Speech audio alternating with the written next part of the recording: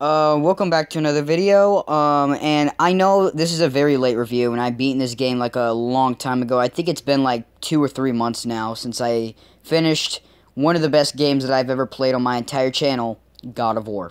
Now, the review should have came, like, uh, right after I beat it, but then I, you know, I lost interest for a lot of time, but then I didn't return to um, uh, game reviews until after I beat Last of Us. Now I'm returning to the game because I just I was just playing a little bit of Witcher, and the game really reminded me of God of War. I can't review Witcher just yet um, because I haven't beaten it yet. I'm not even close to beating it yet. But uh, anyways, God of War, a PS4 exclusive. Uh, sorry, Xbox fans. Um, I don't know which installment this is of the God of War franchise. They've made so many. They've made like four like sequels in total, and like a, a, a, some spin-offs, I think too. But if you guys don't know what God of War is, God of War is about this uh, god named Kratos, and he hates gods. Like he he he's killed them all already. Um, I don't think he's killed Thor yet though, but they they said that he's gonna fight Thor in the next game. Which, to be honest, I'm not sure if I want to get the next game.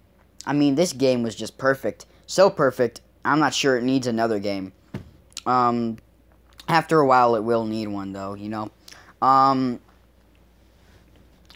but the story of this game is really what stands out more than anything.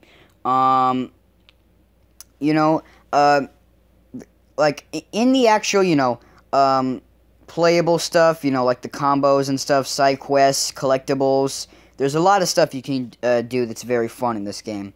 But they're also, the main thing I think is the story that stands out the strongest. Um, you have to like, um, you know, um, okay, so before, before Kratos had his son, he was just kind of a cold-hearted killer who didn't really care about anybody. Now he has someone who he loves and he needs to protect and look up to. So he can't just keep killing like everybody. I mean, he of course he has to defend uh, himself and his son against monsters. Well, he does train his son to fight because uh, eventually he will take his place as the god of war. Um, so, but he doesn't want to, you know. Um, eventually, like in this game, you know, there was a scene where Atreus found out that um, Kratos uh, killed his own father, Zeus. Um, and Atreus was a little uh, was a little upset because you know he killed his own father, so how does he know he may not kill his own son.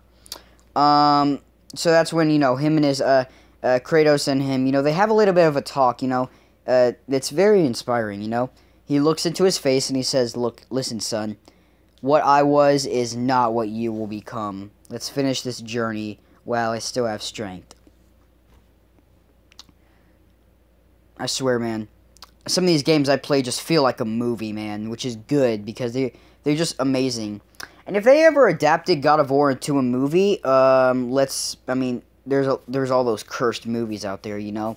Some sometimes they succeed, like with the Sonic movie and the Detective Pikachu movie. Now, I didn't like Detective De- the Detective Pikachu movie that much, but I think it's mainly because I'm not a Pokemon fan. If I was, I probably would have loved it, but it's still a little enjoyable, you know.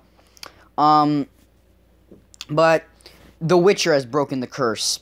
I mean, because it's a TV series, and uh, we're getting a Last of Us TV series, and they want to get an Uncharted movie next year.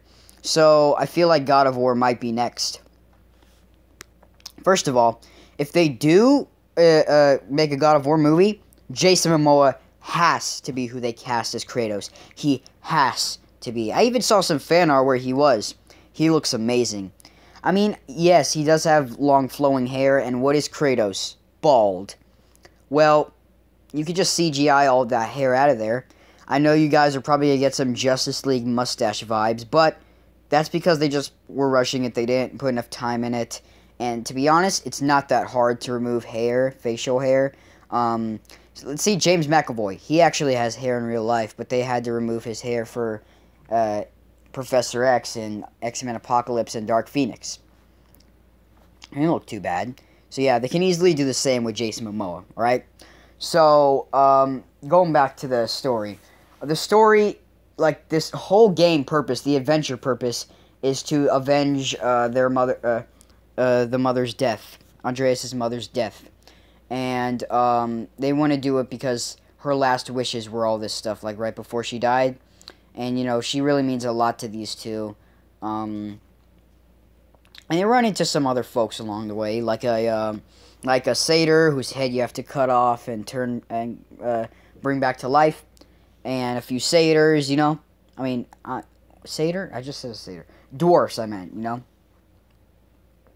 Uh, you know, like Sidris and Brok, and the boss battles in this game are just intense and fun. I fought in them before. I got sweaty. I got sweaty, man, fighting these bosses.